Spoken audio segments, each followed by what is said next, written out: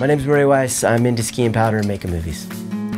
When I came here, I actually came here to cover like the second or the third annual US Extreme Skiing Championships. And I just remember the locals being really friendly. I mean, so much so that, you know, I was probably 22 and I didn't have any money. And I remember ordering a breakfast sandwich at a place up on the mountain and the guy behind the counter was like, ah, don't worry about it, bro. And like didn't charge me for it. And it was like that kind of all over town. We're in a community, we're together, we're here, we're ski bums, let's make it work. Matchstick Productions is a film production and distribution company. So what we do in short is we produce films and then we distribute those films across the globe via the internet and on film tours.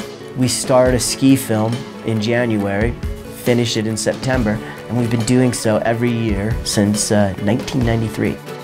Even to this day, I still get inspired by the 23-year-old kid that moves here to try to ski 100 days a season, and there's a lot of passionate people here, and that passion helps inspire me as well as the outdoors. But really what's so nice is the ability for me to walk right out of this office and go for a ski tour or jump on my mountain bike and get active and get out in the mountains and get into what I call church, which is nature, and clear my head and then come back into the office and, you know, have new ideas and have a fresh outlook. I think skiers thrive here that have a sense of adventure. You know, they have to be willing to, to take a chance and push themselves. It's not a McDonald's of skiing. It's a cool ski town at the end of the road with a really steep mountain. I think what sets it apart from Colorado is the amount of expert skiing that we have here.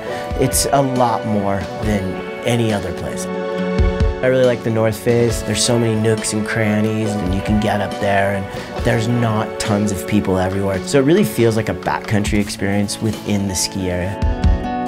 I see a lot of parents put a lot of pressure on their kids to ski and I'm just not that at all. I just want my daughter to have fun and, and get down the mountain and enjoy herself up there. And I know that that's what's gonna make her a better skier anyways. With kids these days, it's a battle to get away from the screens. So in the winter, we do a lot of skiing. We have a great time with it and spend a ton of days up there. Uh, you know, it's gotta be 50 or 60 days just skiing around.